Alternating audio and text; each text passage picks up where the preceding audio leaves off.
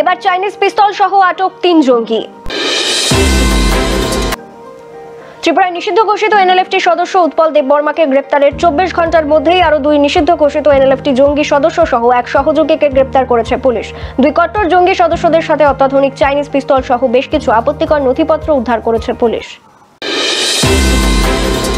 গোপন সংবাদের ভিত্তিতে উত্তর ত্রিপুরা জেলার অতিরিক্ত পুলিশ সুপার জেড আর্লং এর নেতৃত্বে কাঞ্চনপুর মহকুমা পুলিশ আধিকারিক অমল চক্রবর্তী, আনন্দবাজার থানার ওসি এল ডার্লং সহ ত্রিপুরার স্টেট রাইফেলস বাহিনীর জওয়ানরা অভিযান চালায়। আনন্দবাজার থানাধীন পশ্চিম ভান্ডারিমা ভিলেজের খাসরাংপাড়ার রিয়াং শরণার্থী শিবিরের রাইথাঙ্গা রিয়াং এর বাড়িতে।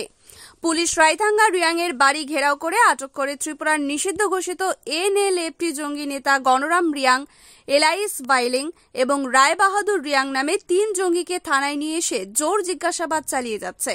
এই নিষিদ্ধ ঘোষিত এনএলএফটি জঙ্গির সাথে আর কে কে জড়িত রয়েছে?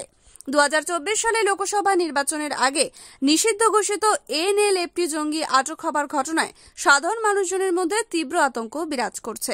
ত্রিপুরা থেকে Bikram কর্মকারের report XTV Bangla. Accordingly Bhandarima ভান্ডারিমা TSR ক্যাম্পের অফিসার এবং জওয়ানরা এডিশনাল এসপি এসডিপিও ওসি সবাই মিলে কাসলামপাড়াতে গতকালকে ভোর রাতে রেড করে। এই রেডের সময় গণরাম রিয়াং, রায় বাহাদুর রিয়াংকে তাদেরকে অ্যারেস্ট করা হয় এবং বাড়ির যে মালিক, রায় টাইনা রিয়াং, যে আশ্রয় দিয়েছিল তাদেরকে ওনাকে অ্যারেস্ট করা হয়েছে।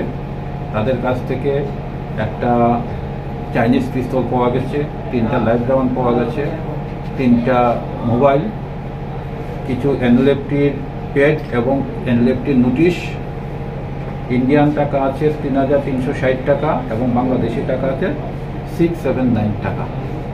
তাদের বিরুদ্ধে একটা কেস হয়েছে ইনভেস্টিগেশন চলছে। Thank you